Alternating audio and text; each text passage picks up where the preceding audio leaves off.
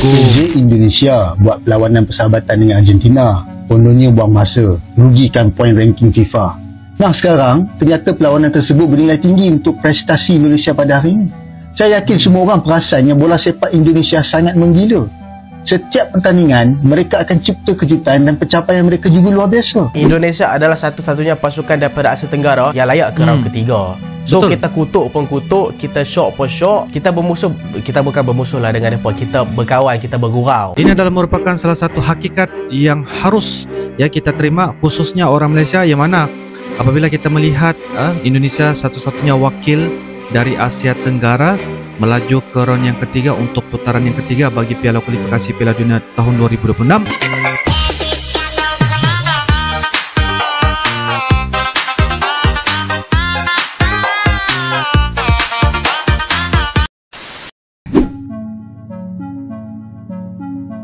Orang Malaysia ini heran dulu ejek Indonesia kini malah menjadi satu-satunya wakil Asia Tenggara. Okey. Dahulu banyak orang Malaysia yang sering mengejek kemampuan timnas Indonesia. Namun situasi kini berbalik. Tim nasional Indonesia justru menjadi satu-satunya wakil Asia Tenggara yang berhasil melaju ke round 3 Piala Dunia 2026. Prestasi ini membuat banyak pihak di Malaysia terkejut dan kagum. Terkejut dan kagum. PJ Indonesia buat perlawanan persahabatan dengan Argentina. Kononnya buang masa, rugikan poin ranking FIFA. Nah sekarang, ternyata perlawanan tersebut bernilai tinggi untuk prestasi Indonesia pada hari ini. Saya yakin semua orang perasan yang bola sepak Indonesia sangat menggila. Setiap pertandingan, mereka akan cipta kejutan dan pencapaian mereka juga luar biasa. Saya tak tahu nak kata apa dah. dah dan tak perlu nak ulas apa dah sebab se- semua yang terlalu gempak, selalu hebat. Apa pun saya berharap agar Indonesia dapat masuk ke Piala Dunia buat kali keduanya dalam sejarah. Okey. Satu-satunya penyelamat muka ASEAN. Tak perlu nak sedih sebab ini merupakan antara pencapaian terbaik pasukan kita. Ya, apa pula kata korang? Tuliskan dalam ruangan komen. Jangan lupa repost dan follow sekali. Okey. Tahniah untuk timnas Indonesia layak ke round 3 kelayakan Piala Dunia selepas mengalahkan Filipin 2-0. Ini dia guys, 2-0 Indonesia menang ke atas Filipina dan terbaik lah tak tahu nak cakap macam mana guys.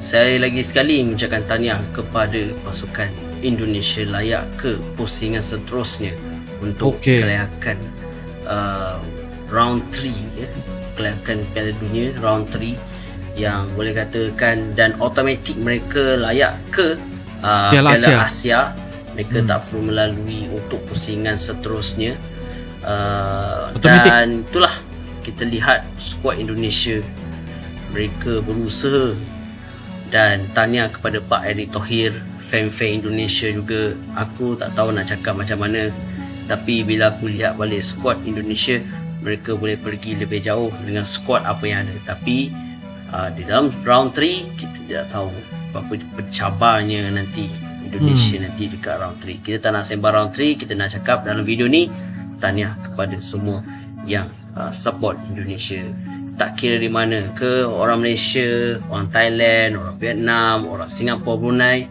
we all support each other and sentiasa support ASEAN untuk pergi lebih jauh. Okay? Okay. Assalamualaikum. Amigos. Okey, round 2 World Cup qualifier baru sahaja habis dan ada 18 negara Asia yang layak ke pusingan seterusnya. Salah Okey. satunya adalah Indonesia. Palestin hmm. pun layak juga tau. So, untuk fans-fans Indonesia yang tak tahu pasal next round ni, macam mana nak layak ke Piala Dunia, ha, aku akan explain dekat korang. So, Okey. 18 negara tadi akan dibahagikan kepada 3 kumpulan. kumpulan. Dan juara dan juga naik juara tiga kumpulan tersebut akan bermain dekat World Cup tahun 2026. Ah, kalau Oh. Indonesia tiba-tiba jadi naik juara grup ataupun juara grup, diorang akan main World Cup guys tahun 2026.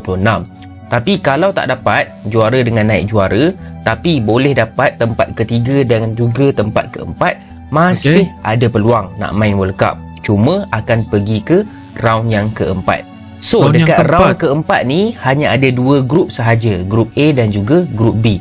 Dan juara setiap grup tersebut akan juga layak ke World Cup tahun 2026. Ke World Ah, Cup 2026. Naik juara akan pergi ke round yang kelima. So, Round yang kelima? misi Indonesia untuk main World Cup tahun 2026 adalah cuba sekurang-kurangnya finish paling kurang tempat keempat. Tempat keempat. Okey, tempat ke tempat keempat ni masih ada peluang. Tapi yang paling baik tempat kedua dengan tempat pertama. Confirm main World Cup. Main World Cup. Confirm mendonia. Nah, seperti inilah komandan-komandan defense sepak bola Malaysia melihat timnas Indonesia yang lolos ke babak ketiga kualifikasi Piala Dunia 2026. Okey. Indonesia di grup yang mudah. Nasib baik saja orang dapat grup mudah. Dengan Irak pun asyik kena belasah. Kalau satu Oh. tim dari Central Asia ada dalam grup itu, Konoha tak akan layak punya. Boleh dikatakan Malaysia berada dalam grup yang sukar, tetapi dapat tempat ketiga sudah bersyukur.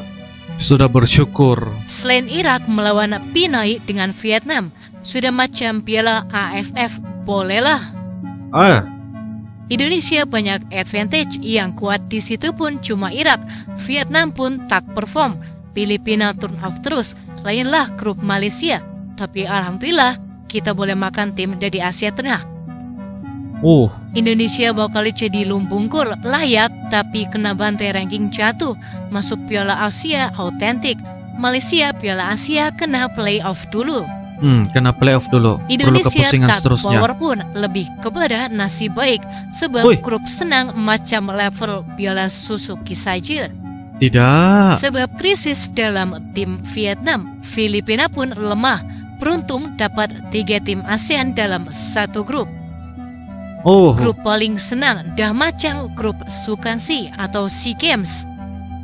Tidak. Indonesia tapi kalau kalah nanti di pusingan seterusnya, hati-hati pemisah nanti ranking itu akan menjunam ke bawah.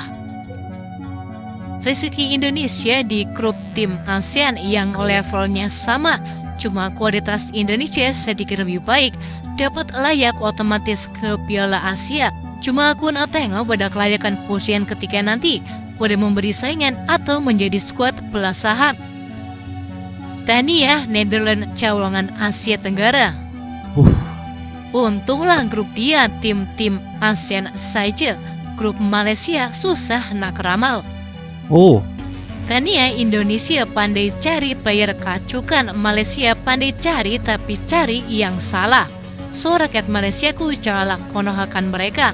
Mereka sudah jauh dengan kita. Lawan dua tim Asia Tenggara juga yang kuat Irak saja. Memanglah boleh lepas. Tambah-tambah Vietnam tengah drop. Koyak Indonesia bu komen macam ni. Round 3 mesti kena bantai. uh, uh. Grup mudah bolehlah. Tania Indonesia asal bukan Vietnam. Hmm. Itu sudah diduga Indonesia lagi pun tiga negara AFF. Satu saja dari Arab. Beda dengan Malaysia empat negara perlainan dalam satu grup. Tania Harimau Malaya dan buat yang terbaik. Dah buat yang terbaik. Okey. Sedih FIFA World Cup 2026 ada 48 tim. Malaysia awal-awal sudah out tak lepas ke round 3. Tania Indonesia Harimau Malaya boleh sambung main loto-loto. Oi. Indonesia dan Malaysia sama-sama 10 poin. Kira level sama kuat.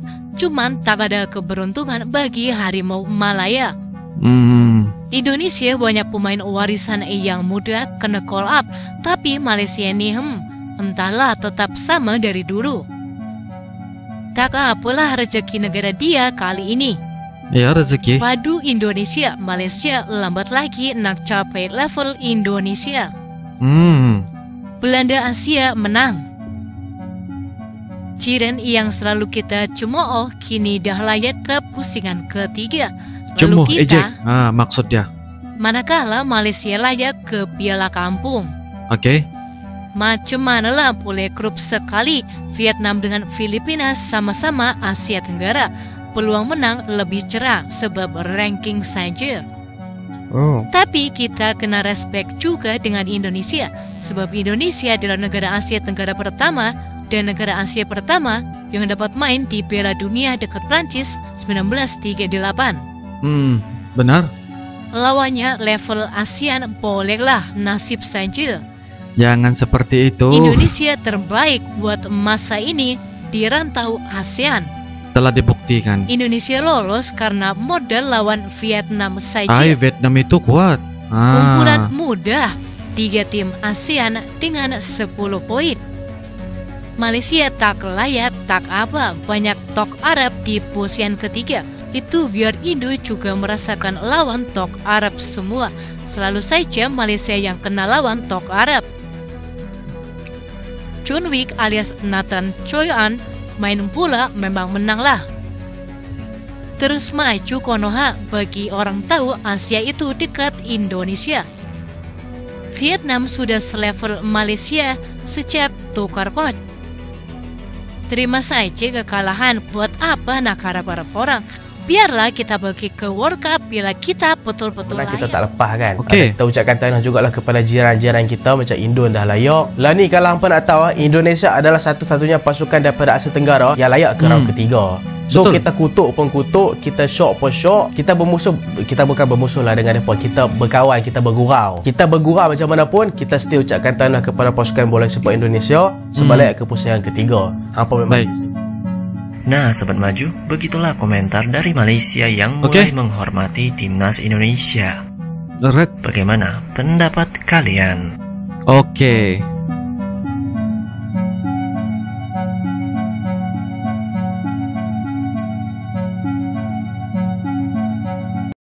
Okey guys, seperti mana kita sudah nonton dan juga reaksikan sebentar tadi sebelum Uncle mulakan bicara dan juga pendapat Uncle, ucapkan terima kasih ya kepada admin The Wanderer kerana uh, bisa berbagi info dan sebagainya untuk kita sama-sama ketahui bagaimana dan cerita komentar-komentar ataupun fan-fans ya dari Malaysia terhadap uh, apa ini lolosnya Indonesia ke round yang ketiga untuk Piala Kualifikasi Piala Dunia tahun 2026.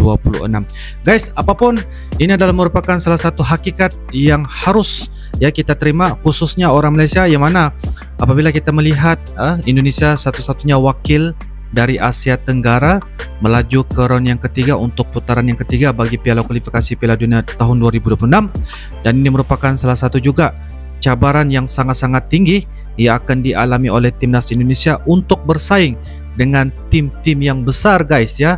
Sebanyak 18 tim ya mereka akan bersaing untuk di putaran yang ketiga. Dan mudah-mudahan ini adalah merupakan salah satu juga harapan bagi timnas Indonesia untuk sekurang-kurangnya uh, masuk ke World Cup pada tahun 2026.